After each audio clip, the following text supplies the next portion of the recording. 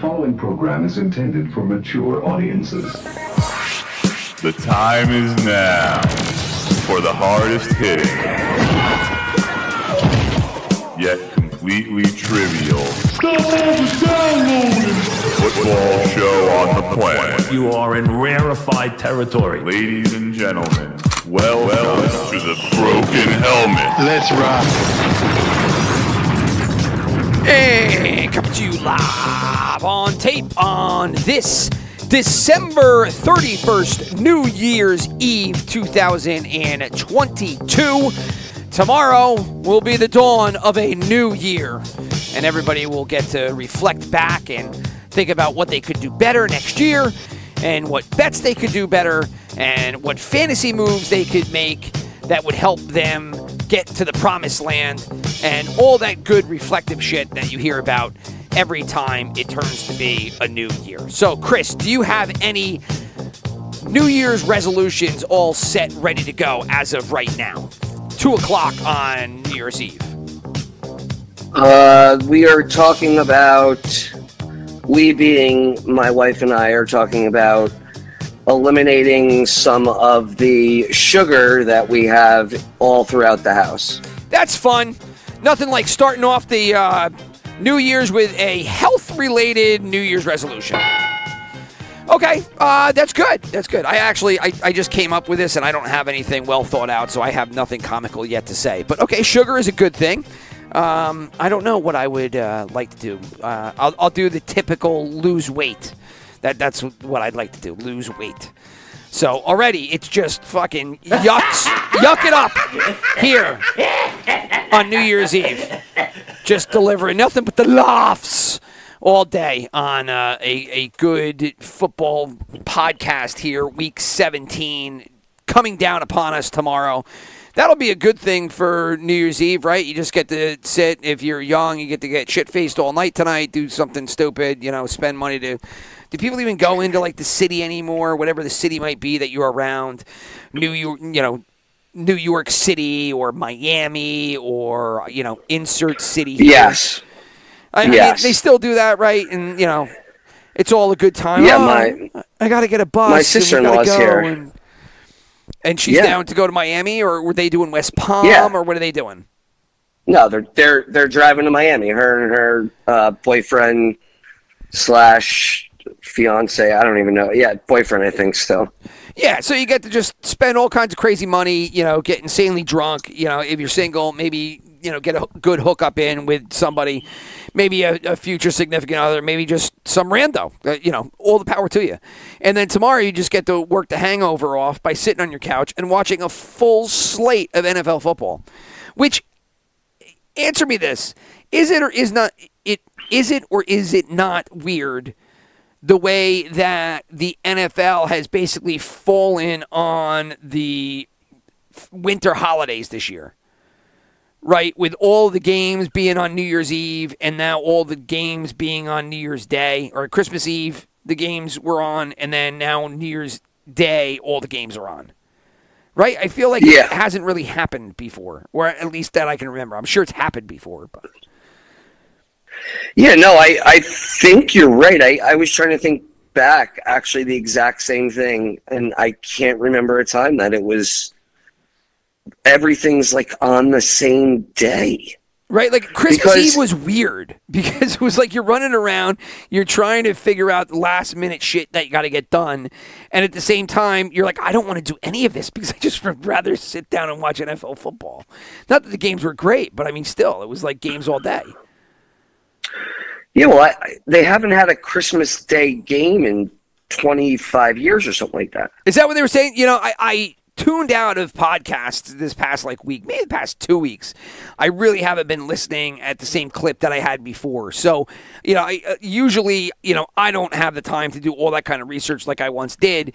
Um, so I don't know all that stuff until I hear it, and then it's like, oh yeah, you know, that, that is a pretty cool little tidbit.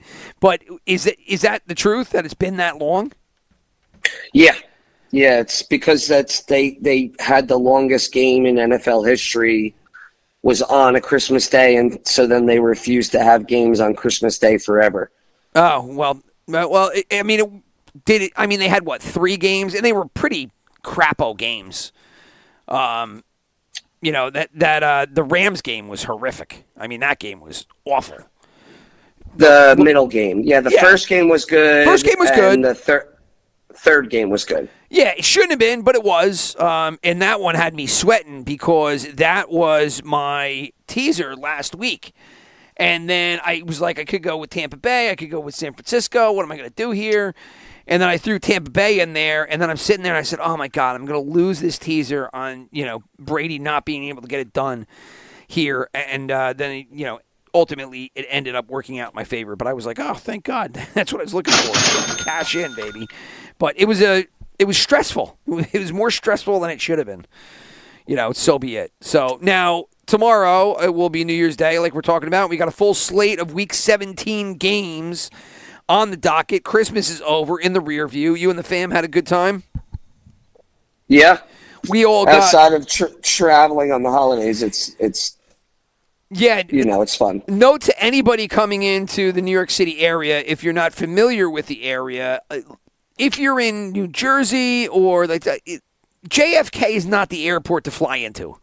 It's just not because it is a long drive, uh, especially if you hit it right at rush hour. So uh, kudos and, and a thank you to my brother for booking his flights at uh, a landing time of five o'clock on uh, two days before Christmas uh, out to No, JFK. no, no. Three days no. before three days before Christmas.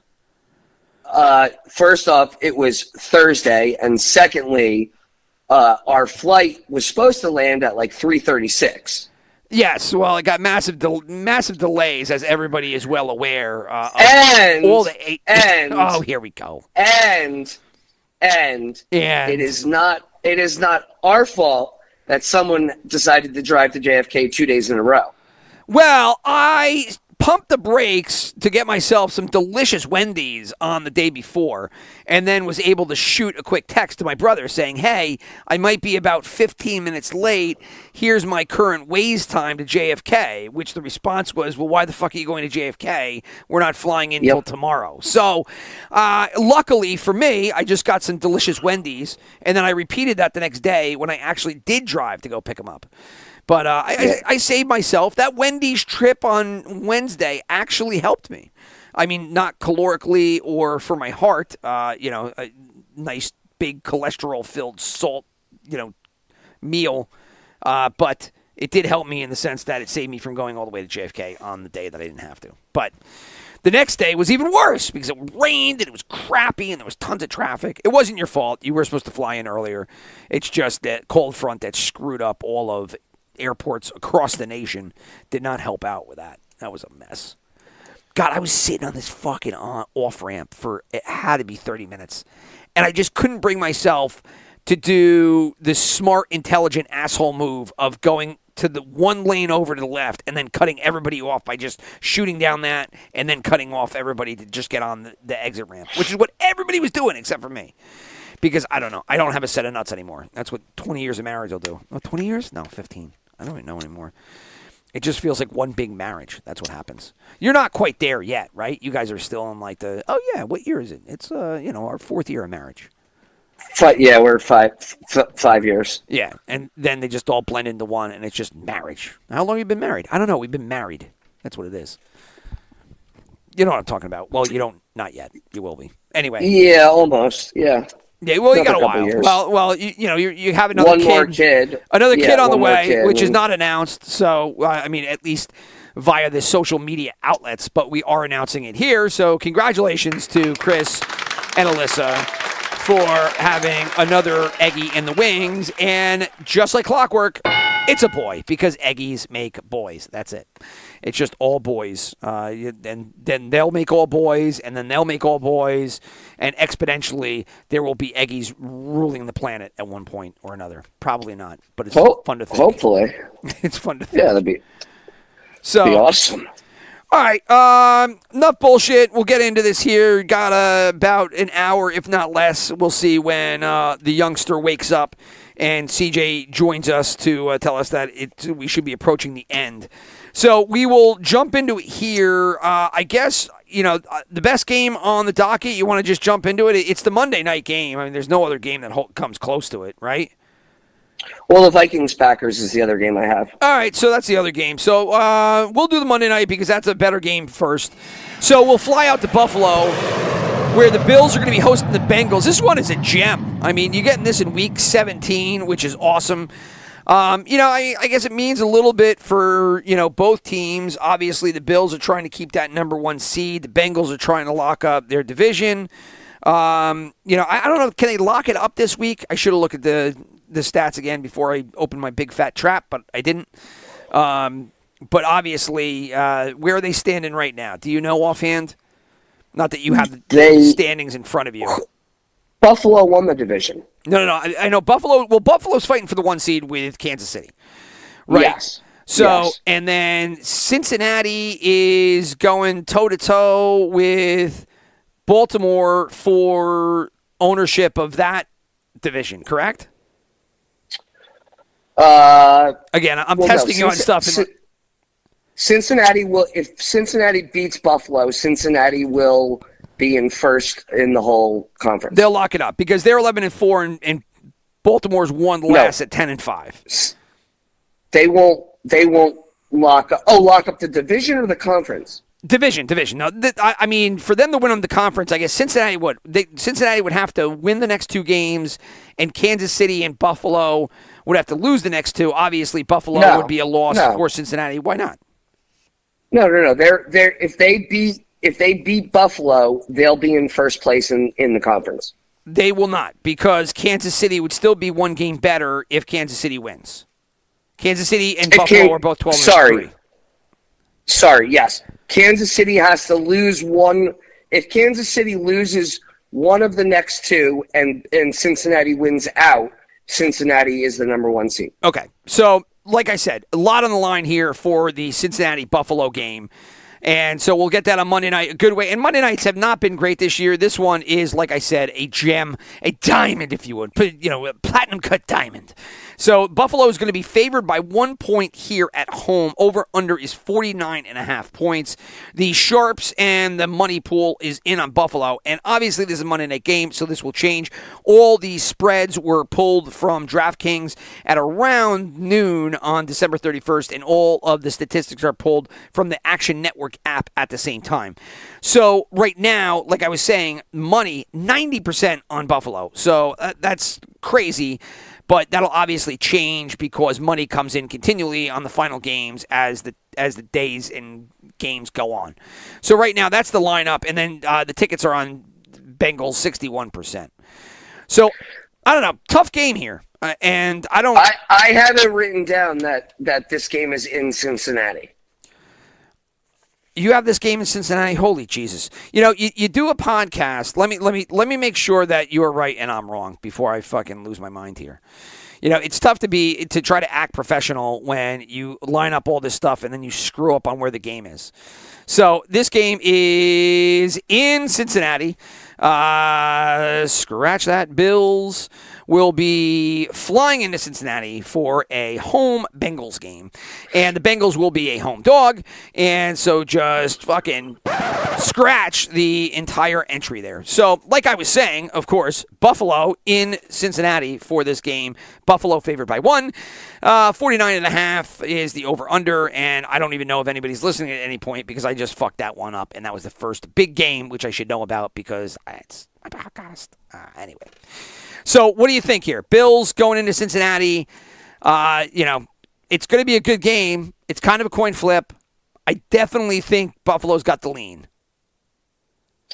Yeah, I think Buffalo has the lean. I, that uh, KC should have beat them when they played them in Cincinnati, and I remember betting on Kansas City. They blew that game in the in the last quarter and a half quarter of that game. So, I, and I think Buffalo's honestly, I think Buffalo's better than Kansas City. So, I, I just think that it's uh, regardless of what time of year it is, playing on national television is is Buffalo's very used to it. Cincinnati is, while they were in the Super Bowl last year, I, I don't think like this is going to be a game that that's affected by national television. Is what I'm trying to say. So if you throw that out the window, because people always mention, oh well, this game's on national television and blah blah blah is not good on national television. Like fuck that. I don't I don't give a shit that it's on national television. You have two very very good teams. I know that Cincinnati's rush defense is pretty good. I'm hesitant to say that their pass defense is any good.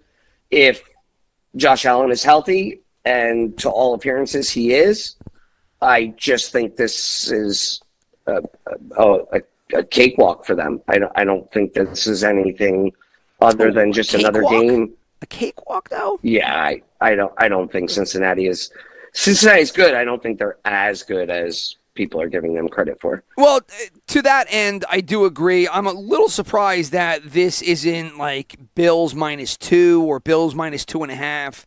I did think that Buffalo going into this game was going to be a little bit more of a favorite. Um, and I definitely thought that when I had it written down that they were home. But again, regardless, take the home and, and away out of the picture. Uh, If yeah, if they were home, it'd be three and a hook or something.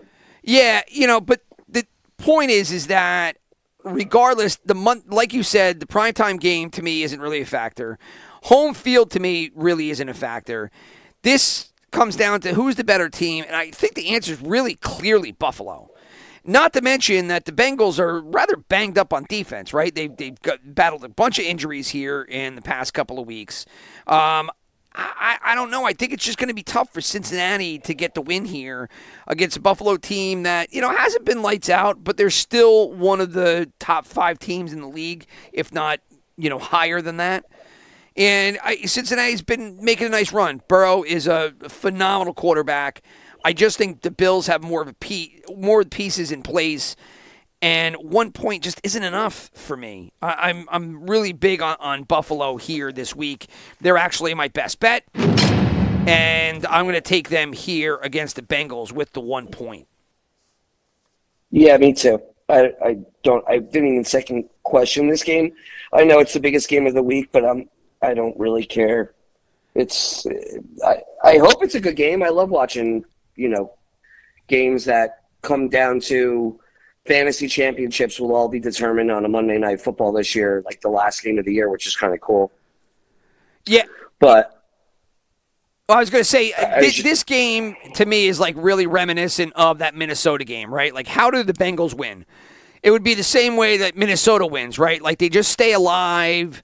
You know, Burrow plays really well, makes big plays, and then I, something screwy happens down the end where, I, you know, Josh Allen throws a, a key pick or some shit like that.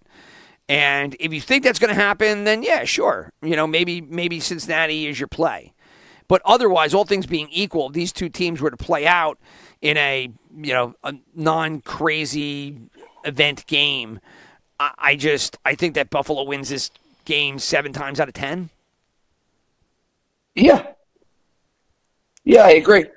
It's it's my one knock on on NFL as a whole is I wish that teams got to the Super Bowl and they played like a three week um Best of three. like a three yeah, it would be kind of cool. I, I just it would I know that I know that the, it was it's never been that way, so it will never be that way. I just always thought that it would be kind of cool if you know the best two teams in either conference uh, got a chance to to really adjust after one game and see if they could uh, make some changes. But it, it's just so much hinges on these one games every year that it's like no matter you have a week of preparation, that's great, but you know most other sports you have numerous weeks of preparation, right? And then you have numerous ways to adjust and and rest and Yeah, I don't know. Just a stu- just a stupid thought. Nah, it's not at all. Like the Buffalo, the Buffalo Bills of the '90s would have loved your idea, because God, they go to the Super Bowl four times in a row, and you know a couple of those games they just end up, you know, just shit in the bed. But other games that are competitive and just didn't work out. I mean, that God, that first game versus the the Giants between Thurman Thomas losing his helmet, and then I, you know, losing on, on a missed field goal. I mean, they would love to play the Giants two more times because I, you know, the Giants probably wouldn't be able to do that again twice. But you know, the single game nature of it, you know, here we are, and so you know, you got to figure out here Bengals Bills how the Bengals could pull it off, and uh, I, you know, I don't really know uh, how they could. And if it was a best of series, Buffalo would definitely win. So that lands us firmly in the Buffalo camp for the first game, which was the Monday Nighter. Uh, the second game, like you were talking about, is going to be played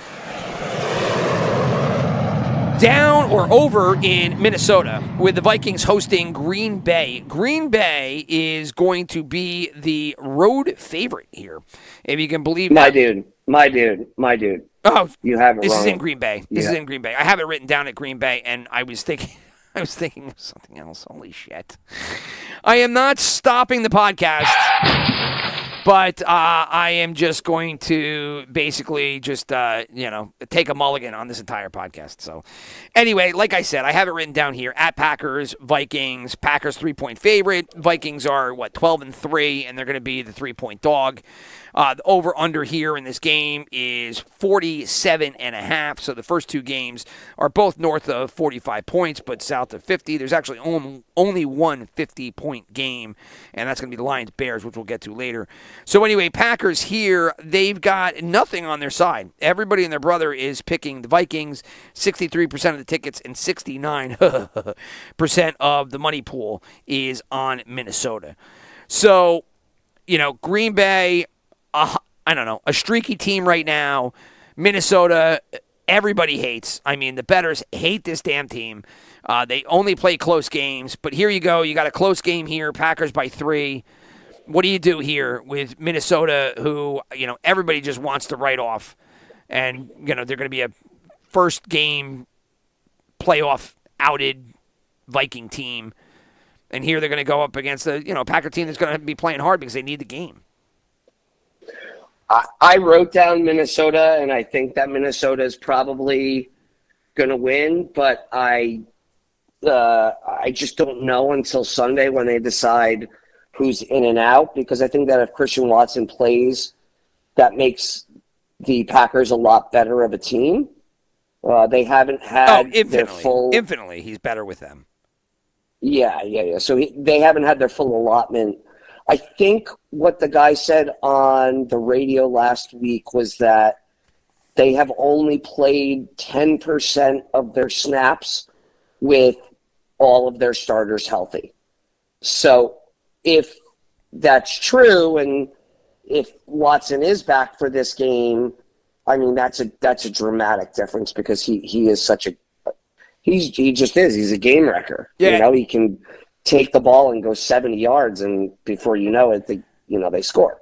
It's funny how things have changed over the season, right? Because if we, I mean, you know, it's week 17, which is nuts, but you go all the way back to preseason, and everybody and their brothers talking about Romeo Doubs, right? And nobody's talking about Watson anymore. It's like they, they threw him out, and it was like, no, Doubs is the guy. You gotta you gotta watch this guy Doubs. And then uh, you know a, a lot of uh, fantasy football podcast talking about dubs, dubs, dubs, dubs, dubs, and then Watson just sat out there and like nobody touched him, and now it turns out like he's the guy, like, and that's why they dropped. Well, he was he was hurt. He was hurt forever. Well, he was hurt forever, but people were talking about Doubs nonstop. Like nobody even sniffed Watson after a while. Like it was, Yeah. was not talked about. And he just kind of sat out there, and then all of a sudden he ended up becoming kind of like a, a mid-season pickup for a lot of fantasy teams. Which then it gets frustrating because you lose him, and now you don't even know you're going to have him. Anybody that had Watson, that kind of you know he wasn't like a Amon St. Brown from last year, but he did impact a lot of teams positively in the fantasy world. And now it's like the finals, and if you got him and he got you there or helped you get there, you might not even have him, you know, in the finale. Yeah, I got him in. I'm in one of my one of the three finals that I'm in. He's he was on. He was like my savior down the stretch, and now I, I don't have him. Yeah, which is unfortunate. But and it's been a kind of a funky finals week with uh, you know a, a lot of things. You know, Tony Pollard, I had him. I was in a fi- I'm in finals this week, and then Pollard ends up going out, and then I mean he was like the, my one saving grace at running back. And uh, now I don't have him, so now I'm kind of sitting there grasping at straws as what I can throw in there, and nothing was really equivalent to Pollard's production over the second half of the year. And there, there are, you know, other instances everywhere. Fantasy people know exactly what we're talking about because you're sitting there just being like, ugh, I gotta go to my final and I don't have him. You know, whoever. Yeah, DeAndre. DeAndre DeAndre Hopkins just Oh got labeled yeah, out. Hopkins late scratch.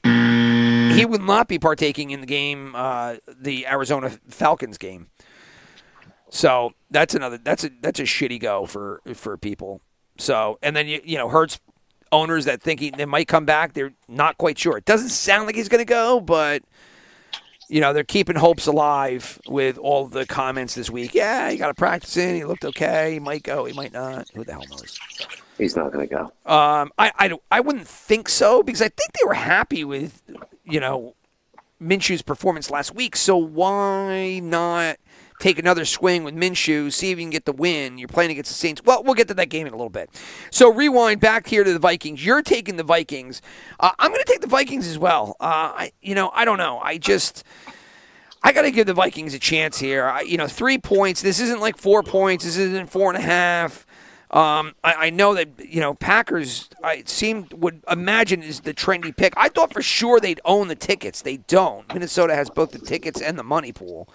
Uh, Sharps don't have a lean, but you know I don't know. I, I I've been watching the Packers. They they've gotten stuff done, but it hasn't been really convincing. Nor the Vikings. But the Vikings have a, a real big fight in them. I mean, they really they should be winning these games. They they have to fight to do it. They should be winning them handily. They have to fight to get it done. But ultimately, they do get it done. So I'm going to give them the benefit of the doubt here, and I'm going to take the Vikings here in Green Bay. As are you. Yeah, I mean, I'm, t- I'm yeah, as am I. Yeah. All right. So those are the two big ones. We'll go down the rest of the slate now. And we'll start off with uh, let's just go to the Eagles Saints game. It's not in the order that uh, was on Action Network, which is usually how we do the order, but uh, we were just talking about it. So, like I said, Eagles hosting the Saints here. I got that one right. Congratulations, Rich. Eagles five and a half point favorites here. 41 and a half is the over under. The tickets are on the Eagles. The sharps and the money are on the Saints. Big time in terms of money, as 88% of the prize pool is there with New Orleans. I, I don't know. I'm, I'm even with Minshew in there. I think the Eagles win it, and then the question is by how much. Five and a half is a lot of points, and I, I you know, the Saints they they jobbed me last week. I thought that uh, Cleveland was going to win. They didn't. New Orleans pulled that game off, which a lot of bettors really liked New Orleans last week, and they were right. Uh, you know, I, I hear the same thing this week with the Saints. Do you have any faith in the Saints getting getting closer than five and a half here? I don't know. I, I, I, I know everyone's talking about how good, how secretly good their defense has been over the past, I don't know, eight weeks or something like that. But I, the, I, what's their record over the past eight weeks? Like they still suck. I don't care how good your fucking defense is. Well, Philly's just a better team. I, I mean, it's like not even close either, right? No, I mean I'm I'm benching most of my Eagles because I I don't this game. What if this game gets out of hand in the first half? You know, I'm, Well, who are you going to bench? I mean, is it going to get out of hand? I, I mean, you know, it'll probably be a good go for at least a game. I mean, you know, five well, I'm, and a half. I like, like I'm bench. they if they're winning by benching- ten, are they going to bench bench- people? I'm benching Sanders. I'm benching Goedert. Uh, Sanders has been cold. I just I, I I just don't trust that he's really that good. Um, I think AJ Brown is probably going to have a pretty good game. I, I just don't trust. I just don't trust this offense, regardless of who's quarterback right now. Yeah, I, I, I, not to mention that they, their run stuffer Jordan Davis is is out again, yeah, came back and then is out again. and they lost offensive lineman again. Like they, they're going in the wrong direction injury wise. Well, all they do is they need a win. And when you think about it here, I don't know. They could go the route that you're talking about. And they just set everybody, and they're just hoping for something to go their way, or they, you know, pump it really hard here at home against a shaky Saints team, and then they lock up the win, and then next week they can just basically take the week off. I mean, they just need one win. They, they, I mean, they could get it another way too. The Cowboys lost, but, um, you know, I, that'll have to wait for next week. So I don't know. I, I think that they do enough to get it done here and, and cover the five and a half, and then look to take next week off. Uh, as for your question about the Saints, uh, over their past five games, they're three and two. But uh, you know the wins were the Rams, the Falcons, and the Browns, and the losses were San Francisco and Tampa Bay. So you're, you know, they, they beat up they beat up bad teams, and then they lose to I don't know Tampa Bay, a good team, uh, good or mediocre teams. Tampa has more talent than ninety percent of the league. They just they're not putting it together. Yeah, they haven't put it together. And if you want to go even back backwards more than that, the Saints basically, uh, I don't know what week it was, but they lost to Baltimore. They lost to the Steelers. Then they won versus the Rams. They lost to both the Niners and the Bucks, and then they beat Atlanta and Cleveland. So I mean, it just doesn't give you a lot of those wins, and that performance doesn't give you a lot of confidence. At least me, uh, and sounds like you of them going in here and keeping it a close game, five and a half. The Aggie brothers on the Eagles. So the New York Giants, a fellow NFC East team here, are going to be playing host to the Colts. Oh, I got it right again. And the Giants are going to be six point favorites against Indianapolis.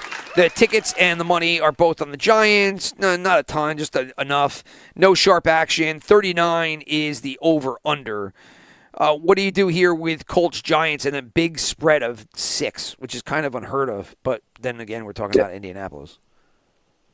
Everybody thinks the Giants are a lock. I, I mean, I think they're a lock to win.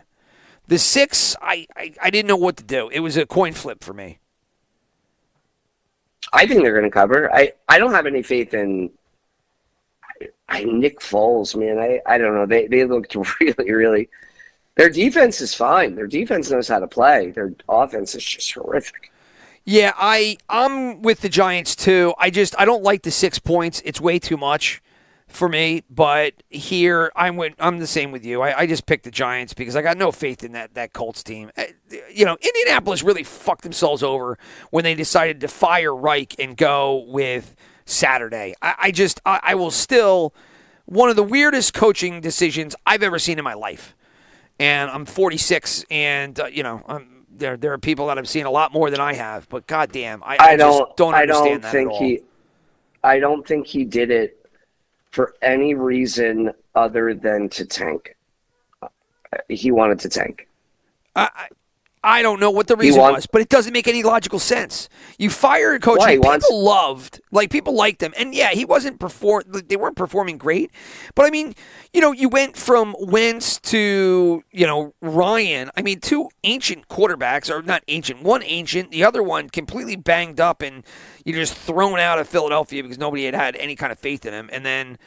You know, I mean, well, he actually, uh, where did Wentz go? He, he- he left Wash, uh, he left Philadelphia, and where did he go? Or no, he went straight to Indianapolis, right?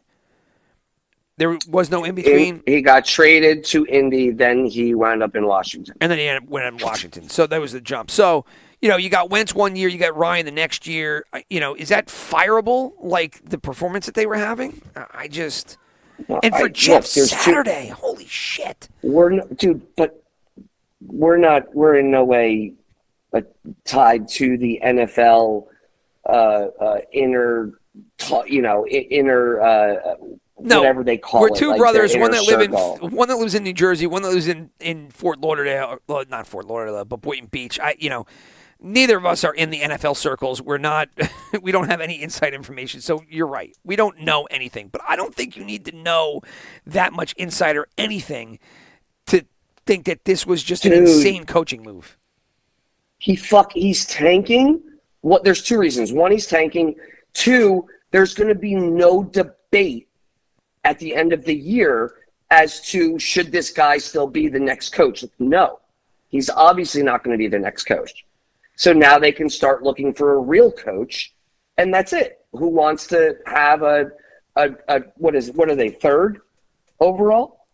Uh, oh, I don't know the the ultimate draft standings as of right now. Uh, if we go to NFL and go to standings, tell you in, in a hot second here, and you just do league, uh, division, league, and at the bottom is uh, Texans, Bears, Cardinals, Broncos, Colts. Um, fifth, but didn't didn't they trade one of their picks away? No. For, for who? Uh, No, I don't know. So didn't. let's say they're No, they didn't. current NFL draft order for 2023. I actually was looking at this the other day because people are starting to do this now. Um, updated draft order after week week 16. And you know Philadelphia, you know, hats off because they're up there now in like the top 10 with another pick. Um, and so it goes uh, Texans, Bears, Seahawks, and the Seahawks pick is from the Broncos. like unbelievable. The Broncos would just have loved to have the pick, and now they, they have Russell Wilson and no pick. Cardinals, and then you go the Colts, and then Falcons, and then the Lions uh, via the Rams, Panthers. They can't get out of his. They can't get out of the Wilson contract until 2025. Yeah, that, that's that's probably been one of the more frequent podcast talking points uh, over the past week or two that I've been listening to. Is just everybody talking about Wilson and how bad it's gone, and trying to figure out how they can get out of it. But back to the topic at hand, you're right. The Colts are right there at four. One, two, three, four, five. So Five. Colts are at five. They're five, and they they have to hope that that Denver or Arizona can squeak out a win because then they'll be top three. Yeah, well, you would imagine that Denver, you know, I, I mean, again, this is all off topic and, and probably a podcast for later, but, I, you know, the Texans are probably going to keep that number one spot. And if they don't, they'll, the Bears will be in there. I don't know how much more. If you're, if you're the Colts, you're hoping to lose out here next two games, and maybe the Cardinals beat the Falcons. Uh, the Broncos are definitely going to lose to Kansas City here. So, you know, Seattle, Seattle's I sitting think that- pretty because, you know, the Bears could win versus the Lions this week. The Texans, I don't really think they're going to beat the Jags, but they could. You know, they're they're live. So, No, they could. They could. you know, Seattle could end up looking, you know, fantastic here because they could just slide all up, all the way up, you know, to two or one, and then all of a sudden it's like, you know, what do you do with Geno Smith? Do you go after a quarterback or whatnot? Anyway, Houston's going to have two top ten picks. yeah, Philly is Philly's just they because of CJ, CJ Gardner Johnson. They not CJ Gardner Johnson. Um, uh, who was that? They uh, what do you? Andrews Pete. Who was the the fucking guy they took? Olave was Who are you one talking of them, about? and the Saints. The Saints took Olave. Olave was uh, wasn't there the, that their number one pick? That was their had- first pick. Was had- Olave, right? it might have been Olave. The second pick was the tackle, the Uh, offensive tackle. Yeah, I know. I don't know his name. Um, I'll pull it up here in a second. Um, ba, ba, ba, ba. I thought Olave went is their first one. Olave went eleven, and the Saints. Where was the Saints' second pick? Penning It's like was nineteen. Yeah, it was nineteen. Yeah, so Olave was first, Yeah. and Penning was Yes. nineteenth. Oh, that's right. And, and Penning went right after Treylon Burks. Right. So Tennessee Right. made that trade. They got rid of, uh, you know, they got rid of AJ Brown. They picked up Burks, and then Penning went immediately thereafter. So and then and that Yeah. was funny. That was a nice little because there was a lot of action in the draft at that point because you had the Burks pick after the trade. Birds. Saints picked uh, the Penning, and then Pickett went immediately after Penning. So that was Pittsburgh got their quarterback. So anyway, we uh, completely digress. And back to the topic at hand here. Uh, we've got the Giants, Colts, Giants by six. You're going to take the Giants. Yeah. I'm going to take the Giants as well.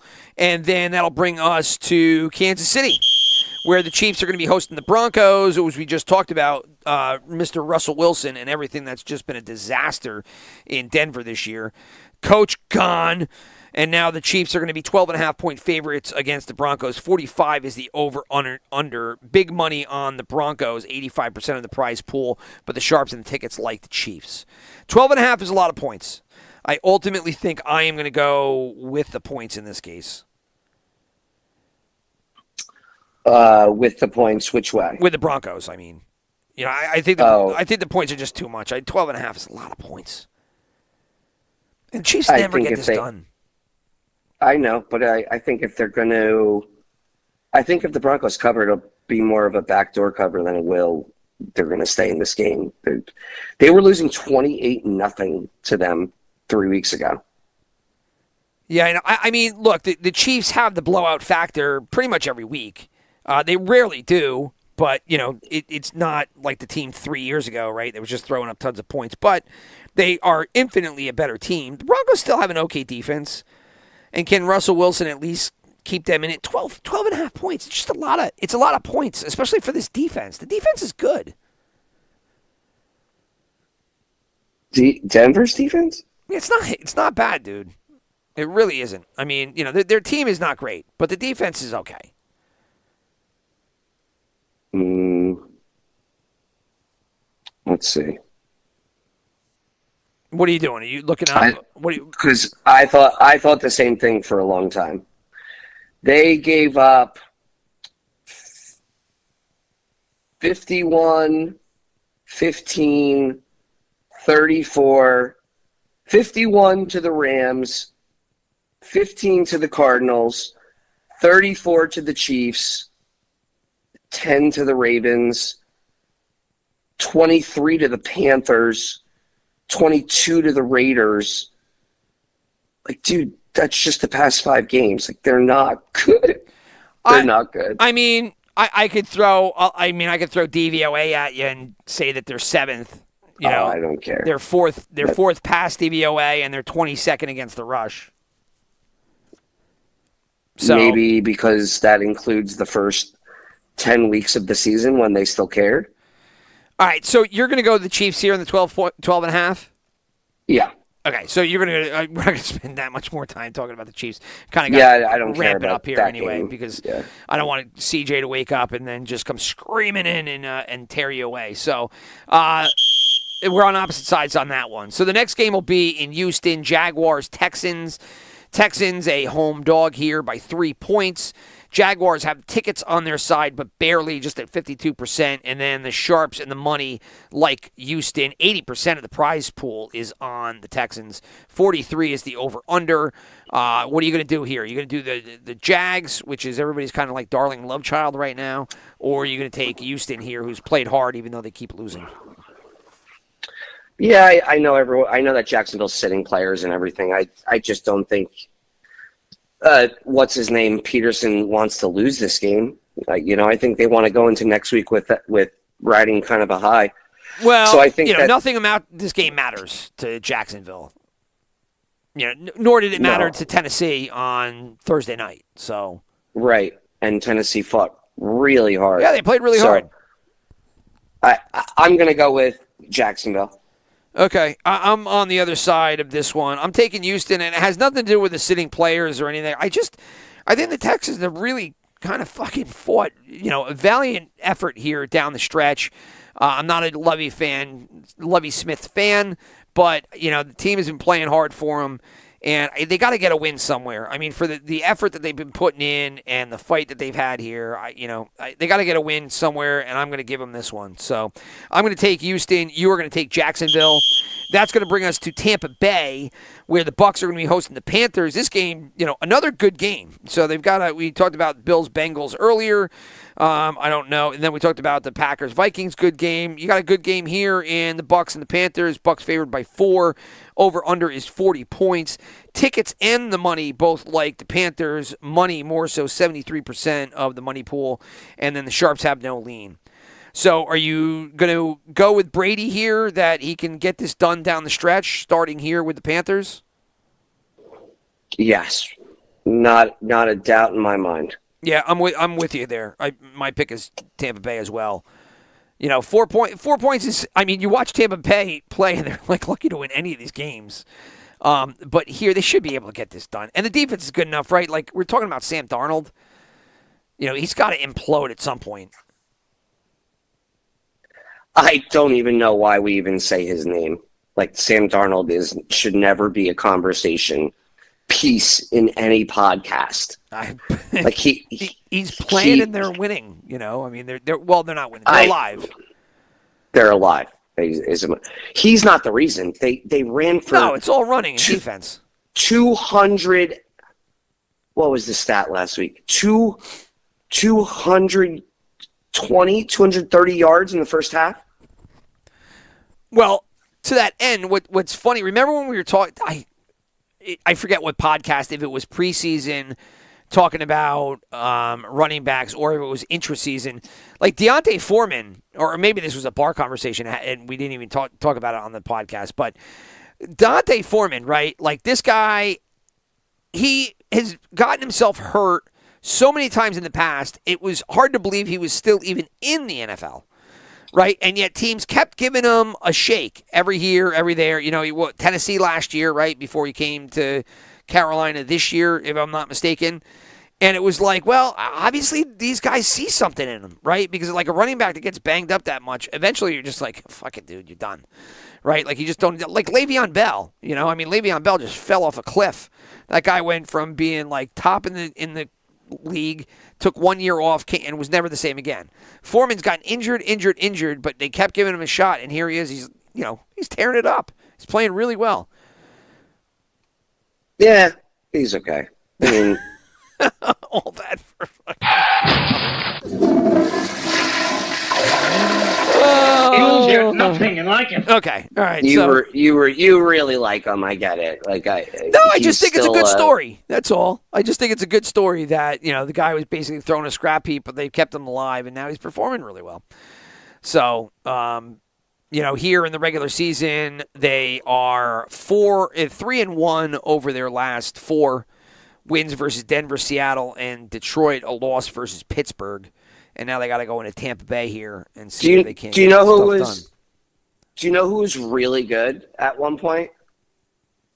Uh, I mean, really? I, you, you're going to ask me? Do I know who's really good at one point? I, I mean, Really good. Out, of- out of Like, the entire really, really population good. of NFL fucking players that have graced Yeah, this like earth. really, how am I supposed really to even? good. How am I supposed to even uh, take a stab at that? Really good. Like really good. Oh, I don't know. Kurt Warner was really good at one point. You know, No, no, I not mean, no. no, You want to take another guess? no. Uh, who, who was really good at? Uh, Obviously, you would never. Christian Okoye was really good at one point. Uh, But Christian no, Okoye was really good at one put, point. Okay. okay. Who were we just talking about? Uh, Isaac Bruce was really good at one point. Are we talking about D'Onta Foreman? Right. So so you would D'Onta Foreman has never been good and and he's now good. So you know who else was really good? Performing well. Uh, okay, who? Peyton Hillis. yeah, right. I know. what? Okay, so you're just saying a running back. That's where I was going, dude. Uh, sure, Peyton Hillis. Yes, he was really good. He was juiced up on roids, and uh, he was phenomenal for that one year, and then he broke down uh, everywhere after. Hmm He made the Madden cover. He made the Madden cover, which was crazy because everybody's like, "Yeah, he's steroided." Well, whatever, so be it. Um, all right, uh, enough about that. So we're both on the Buccaneers for that one. Uh, Lions, Bears in Detroit. Lions six point favorites here. Bears are a trifecta, a ton of money, 91% of the money pool on the Bears.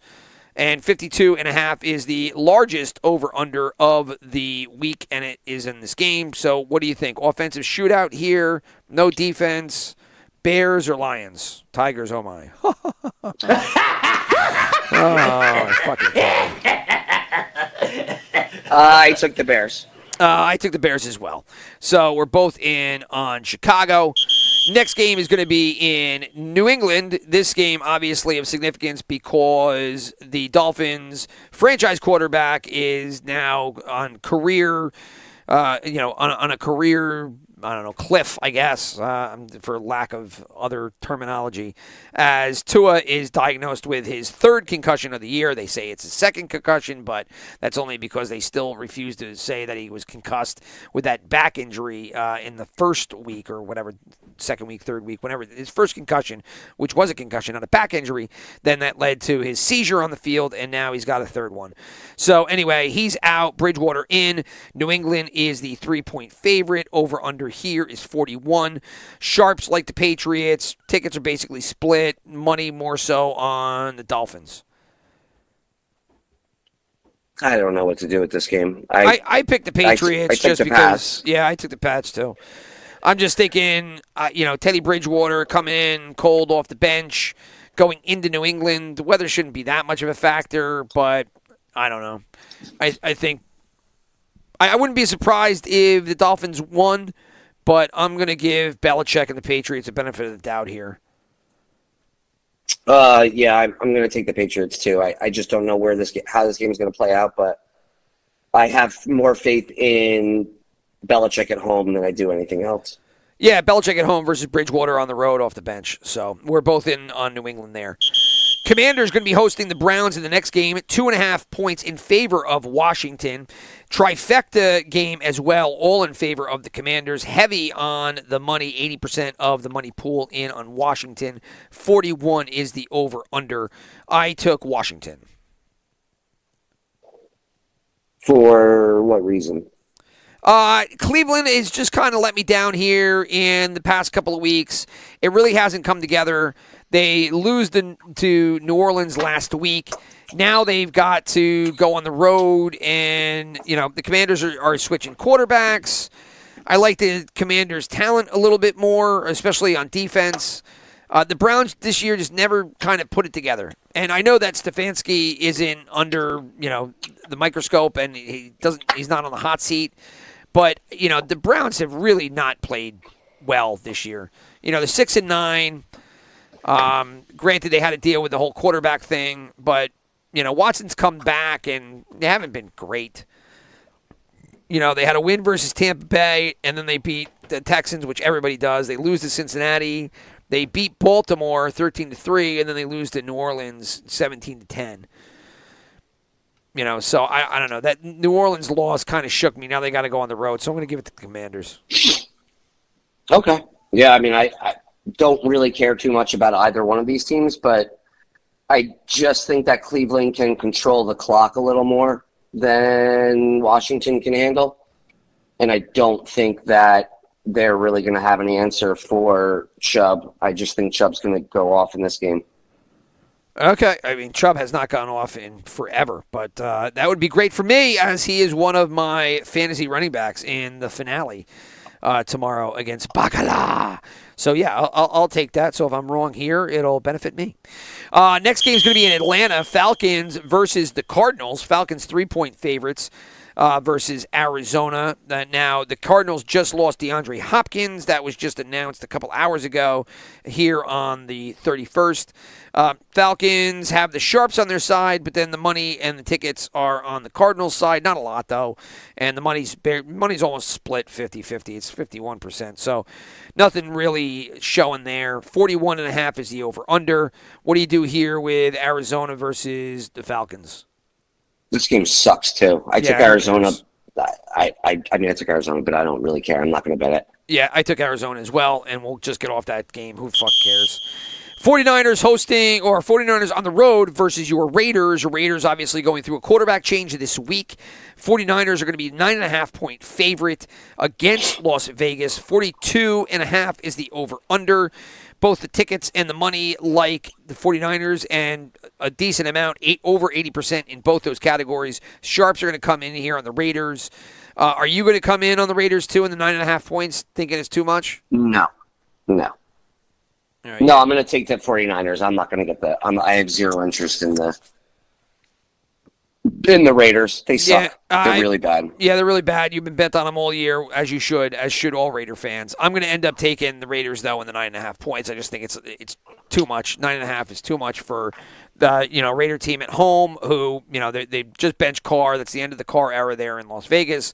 You know Stidham isn't the answer, but I don't know. Maybe you get a, a different quarterback surge here and uh, maybe some better performance out of some people. Obviously, you know, Josh uh, Josh Jacobs was seemed pretty enthusiastic in the quotes that I read that they were changing quarterbacks. So Davante Adams upset, Josh Jacobs happy. You know, who the fuck knows. Anyway, enough of that. We're on opposite sides of the 49ers Raiders game. Jets Seahawks, this one in Seattle. Jets are going to be a road favorite, kind of a weird uh, you know spread there, but Jets do have a really good defense, and the Seahawks are more or less tanking right now. Jets are favored by two. 42 and a half is the over under. Trifecta game. Everybody favoring the Jets, most being the money at 64 percent.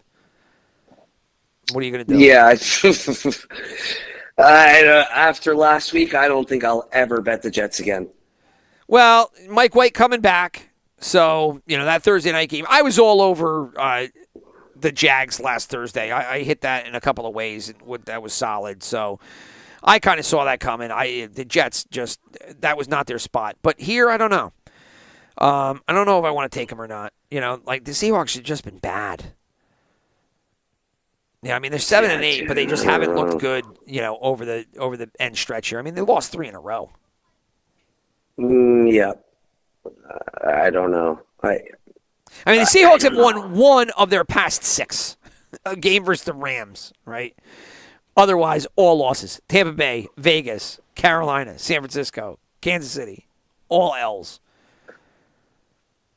yeah, I don't I don't know. I just I the Jets defense is good and all, but I just don't. All right, no. I'm taking the Jets. You're taking the Seahawks. yeah. That'll bring us to the battle for Los Angeles, with the Chargers claiming the home turf, even though they can't claim the home stadium because they share them both, but they'll change the turf. So that's why I'm saying they're going to change. They're going to claim the turf anyway. That really wasn't funny or enlightening in any way, shape, or form. Chargers six and a half point favorites. Forty-two is the over/under. Uh, 99% of the money likes the Rams right now. 60% of the tickets are in on the Chargers you know, I don't know what to do with this game. Uh, you know, six and a half is a lot of points, but the Rams are on fumes. I don't know. What are you going to do here? Chargers. Chargers all day. Chargers all day. They should- Six and a half doesn't doesn't phase you. No, they uh, the Chargers just got into the playoffs. They can if they win out, they can avoid having to play Kansas City in the first round. They're going to play they're going to they're going to play hard. Yeah, I, I mean, I guess I'll go with you. I'm, you know, I'm on the fence. I mean, six and a half is a lot of points, but the Rams really their, their season has imploded here. The Chargers are on the uptick. They're getting Joe. I think Bosa is playing tomorrow, right? He, they he's back from injury, and I think he's playing tomorrow. So Yes. the defense is is on the uptick. So I'll, I'll go with you there on the Chargers Rams, and then that leaves us to the final game for us to talk about, and that is the Sunday night football fe- feast, which is the Rave Feast that uh, who does the uh, fantasy feast. Uh, fucking guy who does eight million podcasts. Anyway, fucking Ravens hosting the Steelers. Ravens favored by two and a half points. The money and the tickets are both in on Pittsburgh for this one. 72% of the tickets, 77% of the money. Over under is 35, not expecting any any points in this one. So, I don't know. This is going to be a good game. I I was glad that they put this into Sunday Night Football. It might not be the best football, but I think it'll be a good game, and it means something. So, I'm all in on this one, although I don't know which way to go. Pittsburgh. Definitely. I mean, Pittsburgh has been the hotter team. Uh, the Ravens at home, uh, I don't know. I don't know. I don't know what to do. I don't know what to do. I'm not going to I'm not going to bet on At two and a half, Tyler all I got to do is win. All I got to do is win. Win, win, Yeah, win. gonna, all I uh, gotta they do is win. they just they are they are desperate to get Lamar Jackson back and they're Uh, to he have to eventually th- Lamar doesn't want to play. Lamar is done with his team. He is definitely doesn't want to play. No, he does not. He wants his contract, and until he gets it, I, I think he's just really kind of punching out. I mean, eventually maybe he plays, but I mean, come on. You know, I'm not saying that he's not hurt, but you know, he does not want to play for this team. He does not want to risk anything because now it's like I, I want my money. They suck without him. Yeah, which is the, the conundrum that they're in.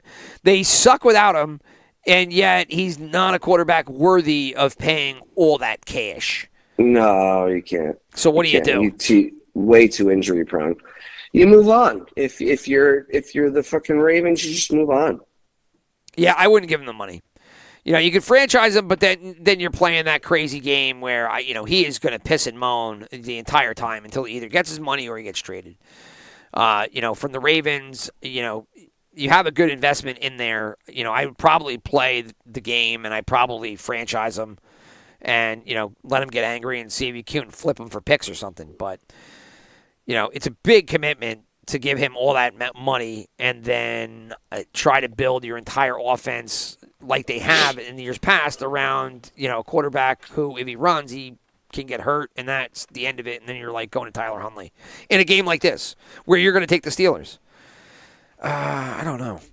Uh, I'm, I'm going to take I'm going to take the Ravens. I'm going to take the Ravens here. I'm just going to give it to the home team, even though Steelers are playing probably better football right now. And I have, you know, who do you have more faith in, Huntley or Pickett? That's a question of the ages. Huntley or Pickett? I'll take the Ravens. Screw it. I'm taking the Ravens in that one. So, and you're going to be taking the Steelers. So that'll do it. So let's move on. Do all of our picks. Uh, start out with the best bets. I gave you mine. Buffalo was my best bet. What are you going to do? Uh, I took San Francisco. I just think in Las Vegas is in full collapse. God, man, even with the, the quarterback change and nine and a half points, just no faith in those Raiders at all. So San Francisco for you. Okay, I didn't see that one coming. And that'll bring us to our Super Contest picks. What are your best five for Week 17?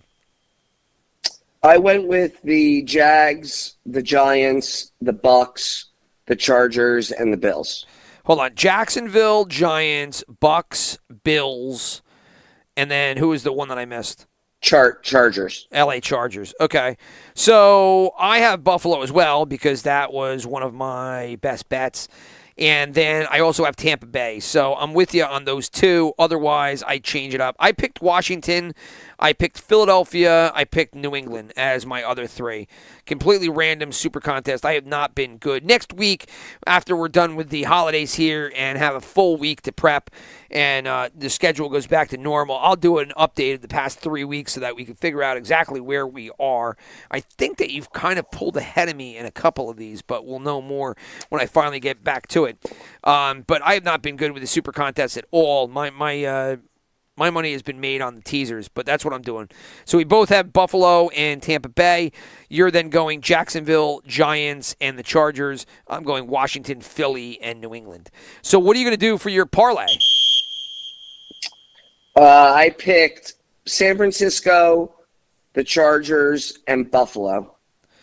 All right. Well, we both have Buffalo, so that one is the same. And then I did Washington and Philadelphia. Those were the two that I picked for my super contest uh, for the win there. You know, Philly again. I just don't think that that five and a half is going to be enough. And then Washington, whatever. That's a short short favorite there at home at the two and a half. So you're going to go San Francisco in that line, plus the Chargers in the six and a half, and then Buffalo. So that brings us to our teasers. And this is where I have been on fire as I hit yet again with my teaser from last week. And that has brought my yearly total up to 12,000. So I have now made about 2 grand and that's a big comeback from down where I was around 7,000 something. So I'm on a uh, 5,000 uh, point tear here. So and I'll take it. I like being positive. So anyway, but teasers, what are you going to do here for week 17? I'm going to go with Cleveland. I'm going to go with the Giants. I'm going to go with Kansas City. And I'm going to go with Chicago. Wow. I mean, here's the beauty about this week in Teaserville is that there are a lot of legs that you can go to, specifically on the underdog side, which is where I think a bunch of what you've picked is, right? So the Browns, yeah. right? The Browns, you can boost that all the way up to eight and a half. Do you really think the Commanders are going to win by a touchdown or more? You take the Giants, which I end up having, so we're the same there. And that brings the Giants basically down to a pick 'em. You have Kansas City, which I looked at, but, you know, yeah, the Broncos aren't good. That brings it down to six and a half, so a touchdown wins it there at seven. So it's not, you know, it's through the seven. I guess I you know I was looking at it too, and I kind of threw it up, but I didn't go. You could go with the Broncos on the other side, though. You think the Broncos are going to lose by by more than 18 and a half? That's a lot. Of no, but some sites won't let you go do that. So that that was one option that I looked. You know, the Bears were another one that I was looking at because the Bears, you know, right now underdogs by six. You throw the six on top of it, and that brings Chicago to 12 points. And Chicago has really fought here. You know, I mean, as long ever since they made the change to the offense and went behind the Fields running quarterback style, they have you know played to the point that I didn't think 12 points there against Detroit. You know, some other ones you could take your Raiders, make them 15 and a half. You could take the Rams, make them 12 and a half. You could blow the Steelers up to eight and a half. You like the Steelers to win. You could take them and go that all the way up to eight and a half on that one. Um, there, there was a lot to do. So you went Cleveland, New York, Kansas City, and then Chicago. Uh, we both had the Giants, like I said. Mine was I, these were the ones I was looking at: New York, Philadelphia. Philadelphia becomes a pick 'em. Buffalo, where Buffalo you actually push it down through the one, and then you push it all the way to five. So then, you know, the Bengals have to win by more than a field goal. So it was like, you know, it, do you think Buffalo at 12 and 3 is going to lose to the Bengals by more than four and a half points? Are they going to lose by, you know, I, I, if anything, the Bengals maybe a field goal in that one. So I was looking at that one, and then I was looking at the Chargers, um, which is, you know, one of your picks for your parlay. And I was saying you didn't take the Chargers and you bring them down to a pick 'em. And so I tried to figure out which one of those that I wanted to go with. And ultimately, I ended up going with the Giants, the Chargers, and then my throw up was Philadelphia and Buffalo. And I just, I still kind of don't know what to do. Like, I like Buffalo, but Philadelphia, I think I'm going to go with Philadelphia. So I'm going to go New York, Philadelphia, and the Chargers as my teaser picks. So that'll bring us to uh, your, you know, your niche betting uh, field here, and that's prop bets.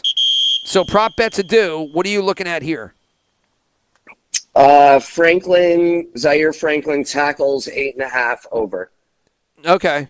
So you like the defensive side of the ball. Now I was tracking it for a while. How have you done with your defensive props? Very good. My defensive props are, are even better than my offensive props. Yeah, I haven't really looked at defense, and defense is definitely. We've talked about it in years past. Like the defensive props are fun because unless you play IDP, rarely do people follow the tackles all that much, and they are a pretty, I would say, consistent statistic, right? That like it doesn't really vary all that much over time. You know, so I mean Franklin and uh, God, it's Franklin and I forgot the other one. I had both of them. Uh, Okiri, right? Did I pronounce his name right? Oh, Kekere. Yeah, like they're but they both get like eight to what eight to eleven tackles a game. Uh, yeah. Well, the Zaire averages a little more. Right, But, yeah. Franklin's the has the higher tackle total, but they're both solid. Yeah. So I went on the offensive side of the board. I ended up uh, I I'm gonna go with Tom Brady here and over one and a half touchdowns because the way that the the that the Buccaneers have played here down the stretch, it's been all all Brady, and Brady's had to get this done continually.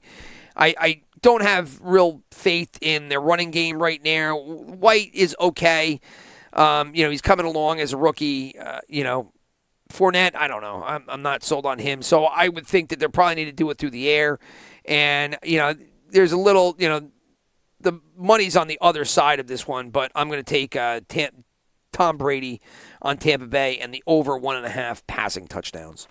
So that's it for the props, and now it's time for our betting segment. So here we go.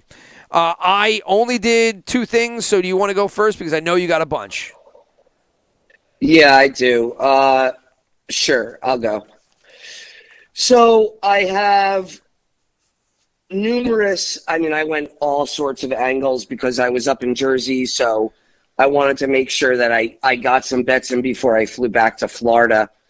So I started off with a four pick parlay. I have the Niners, the Vikings, the Chargers, and the Steelers. Okay. Uh, all money. They're all money line. You Niners, money lines. like, yep, Niners, Vikings, Chargers, Steelers. And my next one I did was, bear with me, uh, I did, did I do any more? Yes, I did. Uh, five pick teaser. I did the Eagles, the Chiefs, the Lions, the Niners, and the Bills. Yeah, well, there's Buffalo, right? So I was talking about that Buffalo pushing that through and then making them five points. Uh, Yep. San Francisco, you obviously bring that down to the field goal range ish. Detroit, you bring that down to basically a win. Kansas City, you're bringing that down to a touchdown, and then Philadelphia is a pick 'em. Yep. That's it. Uh, all right, so those are the two big parlays I did. Then I did college football playoffs, Ooh, bowl games okay, playoffs. which is upon us tonight, four o'clock. So, Yep. right coming up here in about an hour. So uh, going back to yesterday, I did a four pick money line parlay, and I used Tennessee last night. Okay, So they, they beat- won. They were they- victorious. Yep. Yep. Uh, I had Alabama, which I should have just taken the points. I don't know why I did money line. Okay. Uh, then I have Michigan, and I have Ohio State. Okay. So I got plus two thousand odds on a four pick money line parlay. That's pretty good. Yeah, take that. I, I, I haven't gotten into college betting really all that much. I probably I'll probably throw something on, on the games today just to have something in there.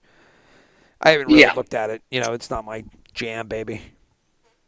Yeah, yeah. So, and then I did uh, another one for uh, the games that are on uh, New Year's Day or New Year's, uh, yeah, New Year's Day. Uh, I did Illinois, LSU, USC, and Penn State. Oh, okay. Then I did a anytime touchdown score four four way uh, uh, parlay.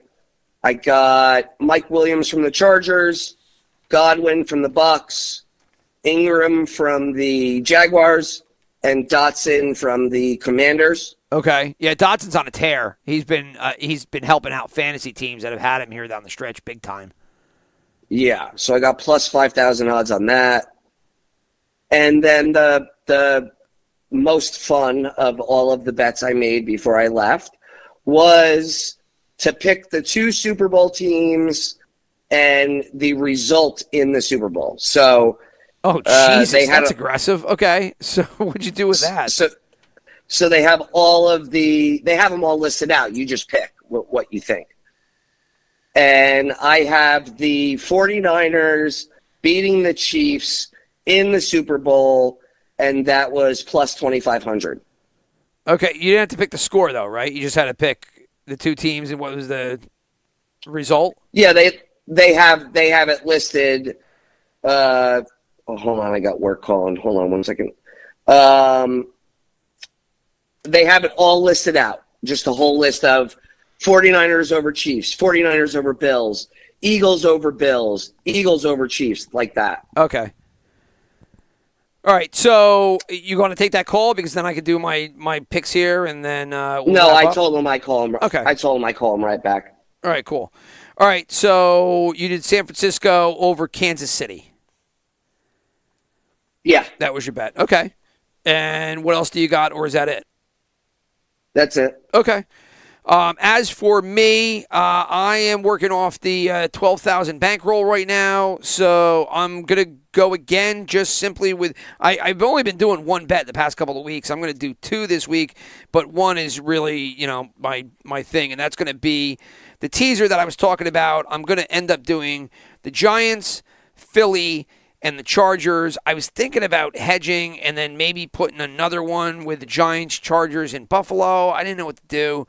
But I said, you know what? Screw it. Let's just keep it there. So I got the Giants to win, Philly to win, Chargers to win. So again, it's worked for me in the past couple of weeks. I like it here. I do think that Philadelphia is going to put some effort into getting this game done, won, and lock it up so that they can take it next week off. We talked about the Chargers and then the Giants. I mean, look, the Colts are just not a good team. Giants blow it in this spot quite a bit, but their coaching has been really good this year. I'll give them that. Um, I don't, you know, they have no wide receivers and the team is flawed, but the coaching has been pretty, pretty outstanding. So Daboll is probably, you know, one of the, you know, coach of the year candidates. And so I think right now, if you bring that down to a pick 'em and take the Giants, I think that should be good. So Giants, Philly, and the Chargers. I'm going to do 500 for 1300. That was basically my bet last week as well. And then I wanted to get involved uh, some other way. So I took 100 bucks to do a, a four team or uh, I'm going to do a parlay that's mixed between spreads and money lines. So spread wise, I'm going to take the Patriots and the two and a half. I also have them in the Super Contest. I'm going to take Buffalo and the one, which is my best bet of the week. And then I'm going to do the Giants and the Buccaneers money line.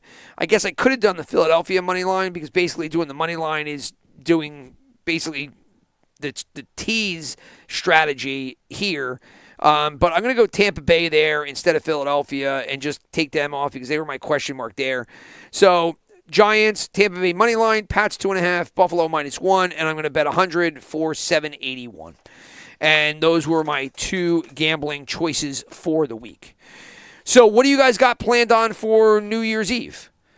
Obviously, with the youngin, you're not going to be doing much. But did you get somebody to uh, watch them? Are you going over to somebody's house? What are you guys doing? And you're not there.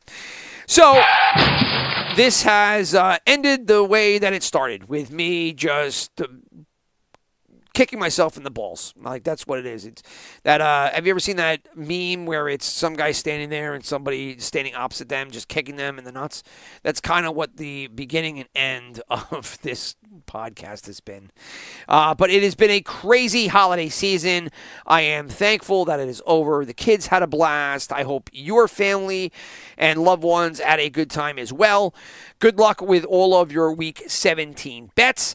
And I am sure my brother would uh, tell you the same if he was here. Um, unfortunately, the, the FaceTime call fell, so he is not here. So I'm just vamping as I crash into the ending, which is, again, per the usual. You do this for like three, four years, and sometimes you just don't get better. Sometimes you get worse. Go figure. You are a stupid asshole. Oh, I am. I am. And boom goes the dynamite. You betcha. Dragon! Sometimes. I actually can't believe what I just saw. Oh no, believe it, Chris. It's about to get it. all stupid up in here. It always does. It never changes. Your organization's terrible. I mean, the organization? Really? You're going to go that length on? I mean, Don't be rude. well, are you saying that to me? I'm not being rude. I'm trying to defend myself here. You're the one coming over the top with all these stupid comments. That guy is a disgrace to the uniform. Mike, I, you know, there are better podcasters around here. I fully understand that. But, uh, you know, we do okay for what we've got, you know? They stink. No, we do not, Chris. That's not fair. You know, that is definitely not fair. We're definitely above average. Anyway, peace out. Happy New Year. Enjoy.